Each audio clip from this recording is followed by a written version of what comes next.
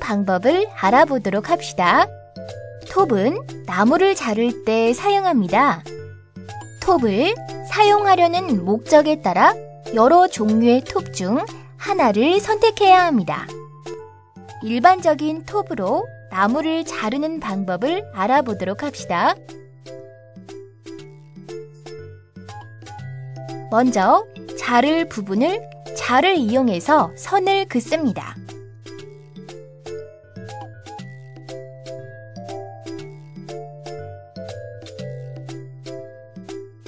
목재를 움직이지 않게 받침대 위에 걸칩니다.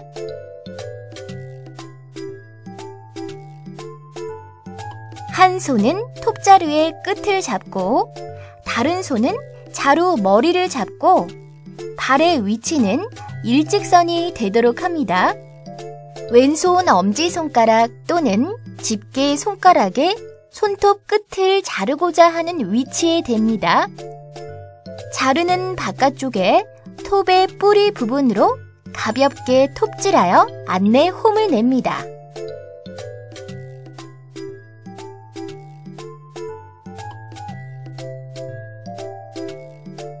톱날을 안내 홈에 대고 톱날과 목재의 각도를 15에서 30도 정도 유지하여 먹금을 볼 수 있도록 톱밥을 수시로 불면서 계속하여 톱질을 합니다.